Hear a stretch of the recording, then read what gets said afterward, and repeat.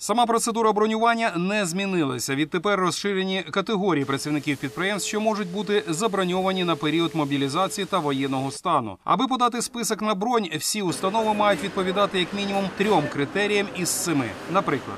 Загальна сума податків і зборів має ем, бути не менше пів, е, ну, відповіднику півтора мільйони е, євро.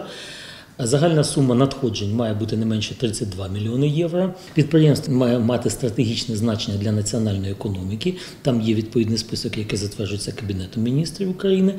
Е, Наступний критерій це підприємство має мати важливе значення для національної економіки та функціонування територіальної громади. Доповнюють список критеріїв розмір сплачених податків та зборів, відсутність заборгованості зі сплати єдиного соціального внеску. Відносно квоти на бронювання, то вона не повинна перевищувати 50% від кількості військовозобов'язаних, які працюють на підприємстві. Бронь дається на півроку, потім її необхідно подовжити. На думку адвоката Яслава Верхуші, у новому доповненні не враховані працівники невеликих агропромислових підприємств, які за своїм грошовим оборотом не потрапляють під жоден пункт зі списку. А тому під час збору врожаю залишаються без робітників. І справді це проблема.